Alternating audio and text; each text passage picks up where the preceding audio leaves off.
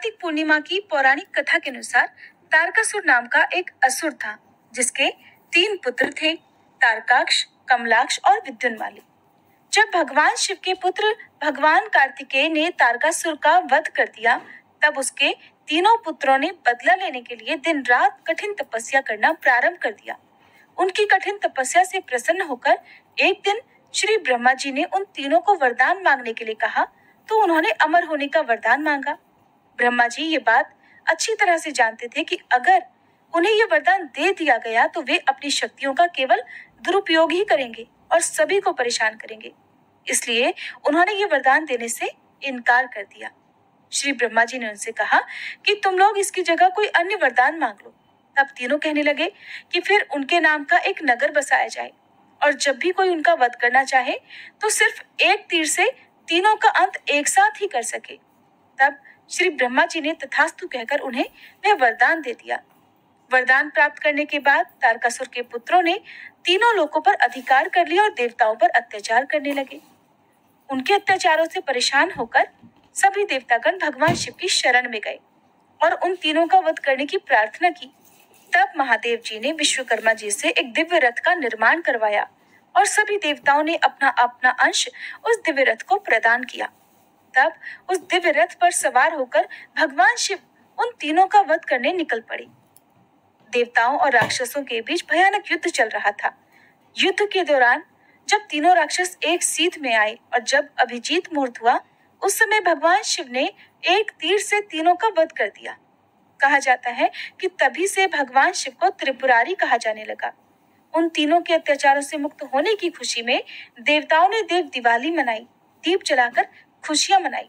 इसी कारण से कार्तिक पूर्णिमा को त्रिपुरारी पूर्णिमा और देव दिवाली के रूप में भी मनाया जाता है, क्योंकि जिस दिन भगवान शिव ने त्रिपुर नाम के राक्षस का वध किया था, वह दिन कार्तिक पूर्णिमा का दिन था।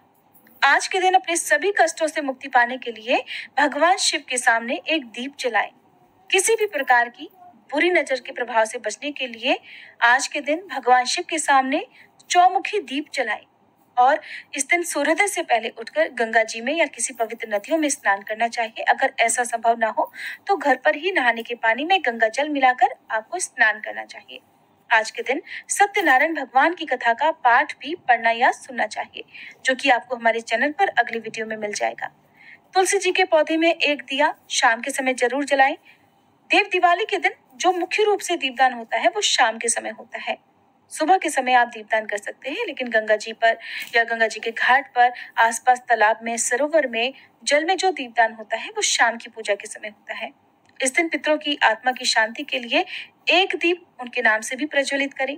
पीपल के वृक्ष में सभी देवी देवताओं का वास होता है, वहाँ पर एक दीप जलाना चाहिए। घर की पूर्व दिशा की ओर मुँह करके दीपक जलाकर रखने से दीर्घायु और अच्छे स्वास्थ्य का आशीर्वाद प्राप्त होता है। रात में चंद्र देवता को अर्घ देने से कुंडली में चंद्रमा की स्थिति मज़बूत होती है। इस दिन दान ज़रूर देना चाहिए। दान में वस्त्र, भोजन, पूजन सामग्री और दीपक जैसी वस्तुओं का दान देना चाहिए। गुड़ और काले तिल का दान देने से भी सौभाग्य की प्राप्ति होती है। घर को और घर की खुशियों को किसी भी तरह की बुरी नज़र से बचाने के लिए पूर्णिमा की सुबह अपने घर के मुख्य द्वार पर आम या फिर अशोक के पत्तों से बना हुआ बंधनवार या तोरण लगाएँ, जो कि बहुत शुभ होता है। इस दिन सुबह से लेकर शाम तक एक लोटे में जल भरकर अपने घर के मुख्य द्वार के भीतर की ओर रखना चाहिए। शाम के समय जब शाम की पूजा कर ले तो इस जल का विसर्जन आपको अपने ही घर के किसी भी गमले में, किसी भी पौधे में, किसी भी क्यारी में कर देना चाहिए, लेकिन तुलसी जी में ये जल अर्पित नहीं करना चाहिए। इस दिन क्रोध नहीं करना चाहिए। किसी तरह का कोई भी बुरा काम नहीं करना चाहिए। पूर्णिमा का उपवास जो लोग भी रखते हैं, उन्हें इस दिन नमक का सेवन करने से बचना चाहिए। इस दिन खीर का भोग लगाकर उसी को प्रसाद रूप में खुद भी ग्रहण करना चाहिए। खीर के अलावा आप मौसमी फल, फलों का जूस या फिर ड्राई फ्रूट्स वगैरह भी ले सकते हैं और अगले दिन सुबह की पूजा करके आपको फिर नमक से बना हुआ भोजन ग्रहण करना चाहिए। आइए सुनते हैं भगवान शिव को प्रसन्न करने वाला, भगवान शिव की कृपा प्रदान करने वाला शिव रुद्राष्टकम का पाठ। नमामि शमीशान निर्वाण रूपम विभुं व्यापकं ब्रह्मवेदस्वरूपं निजं निर्गुणं निर्विकल्पं निरीहं भजे हम अर्थात हे भगवान ईशान को मेरा प्रणाम। ऐसे भगवान जो कि निर्वाण रूप है जो कि महान ओम के दाता है, जो संपूर्ण ब्रह्मांड में व्याप्त हैं और जो अपने आप को धारण किए हुए हैं, जिनके सामने गुण अवगुण का कोई महत्व नहीं, जिनका कोई विकल्प नहीं, जो निष्पक्ष है, जिनका आकार आकाश के समान है, जिसे मापा नहीं जा सकता, उनकी मैं उपासना करता हूँ।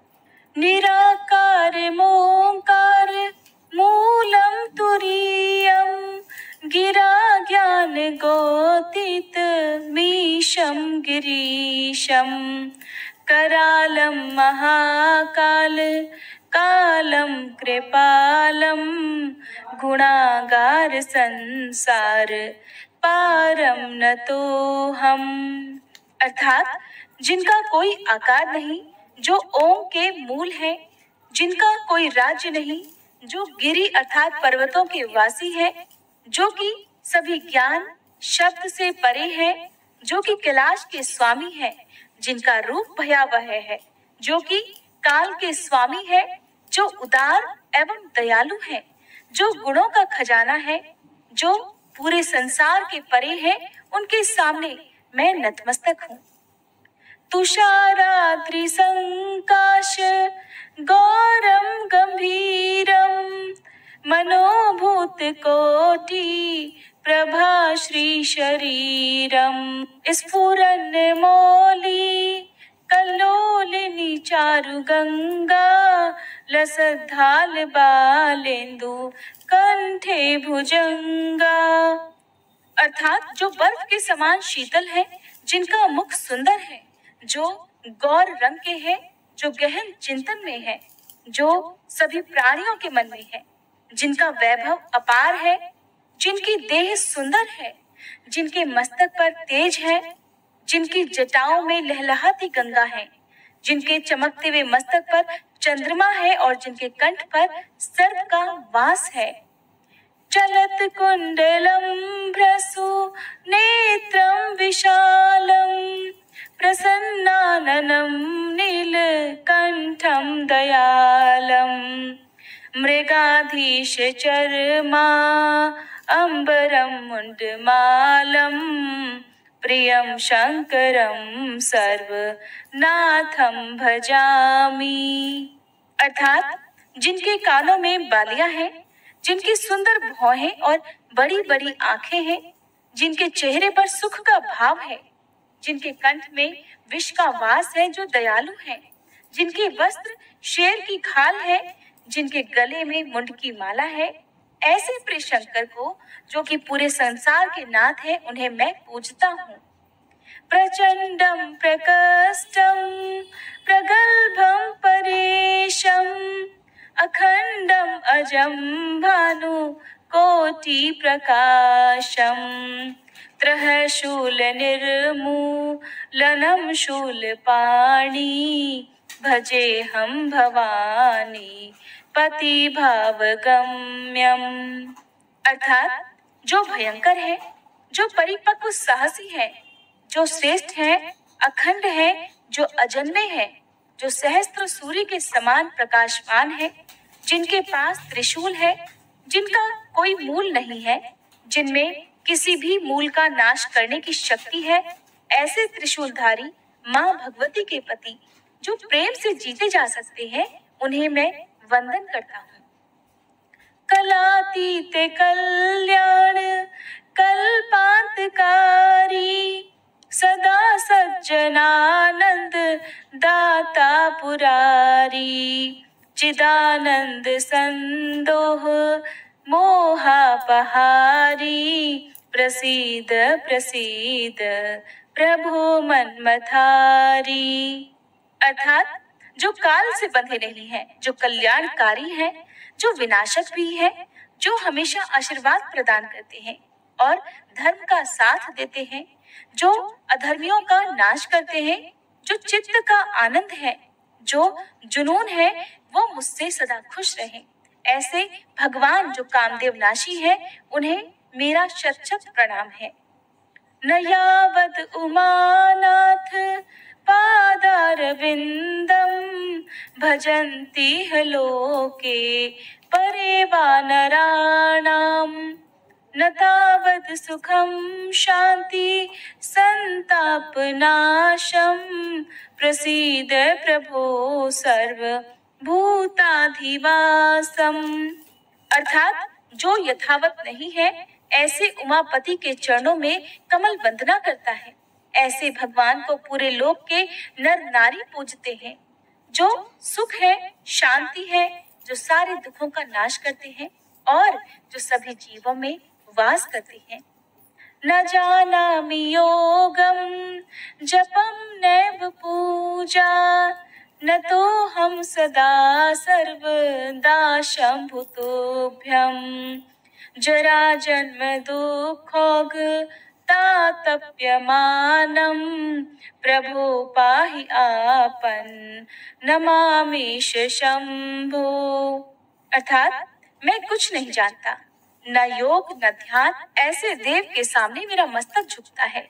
सभी सांसारिक कष्टों, दुखों से, दर्द से ऐसे देव मेरी रक्षा करें।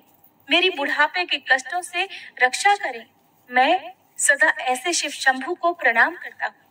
रुद्राष्ट कमिदम प्रोक्तम विप्रेण हर्तोषे, ये पठंती नरा भक्तिया, तेषा शंभु प्रसिद्धति अर्थात, इस रुद्राष्टक को जो सच्चे भाव से पढ़ता है या सुनता है शंभुनाथ सदा उसकी सुनते हैं और अपना आशीर्वाद प्रदान करते हैं। ये थी आज की वीडियो।